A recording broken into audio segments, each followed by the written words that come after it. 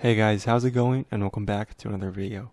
Today we're going to take a look at how you can get this awesome feature, the O-ring, on your Galaxy Note 20 or Note 20 Ultra. It's the indicator that surrounds your camera that shows your battery percentage. It's super useful and super cool. So you want to go to your Play Store and type in Energy Ring, and you want to click on the General Edition. This is the one you want to get. Click Install. The other versions are not compatible with our Note 20s. Click Install. And it should be a really fast download. Alright, there it is. You can open it. You want to give it permissions here. So, first of all, enable it, and then it'll bring to your settings. Right here, go to Installed Services. This will give it permission to overlay on the top of your screen beside the camera 24 7. If you go back to the app, make sure it's on, and there you go. If you take a look at the camera, there's the battery indicator. I'm only at 5%, uh, 15% of battery here, so that's not a lot, but you can change the ring thickness and it'll go according to its thickness.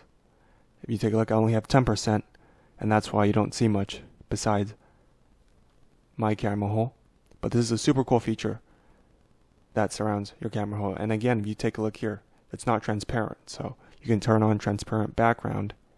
Then you go back, you're going to see that black background gone, and that makes it look 10 times better. Now, there's more settings in the apps you can change, such as the location of it clockwise, bidirectional, and anti-directional. Uh, I'm going to go with the clockwise because that looks the best. And there's a lot more settings such as hiding in full screen. And the next thing to look at is the charging animation. If you go to linear, you're going to see linear, and that's what it looks like when it's charging. You can change launch and slow down, and that looks pretty cool too. These are the different animations you get from the status indicator when you're charging. I'm going to plug in my phone really quick and let's see what it looks like. So we're going to plug it in.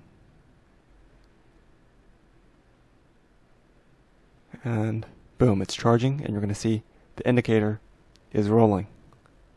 It's going to keep going as long as you're charging. Now this is a cool, super cool feature. If you go back into the settings and scroll down, there's a bunch of color configuration options and you can change the color to the corresponding battery percentage. This is a super cool application you guys will be able to get on your phone. Thank you guys so much for watching. I hope this video works for you guys. And peace out guys.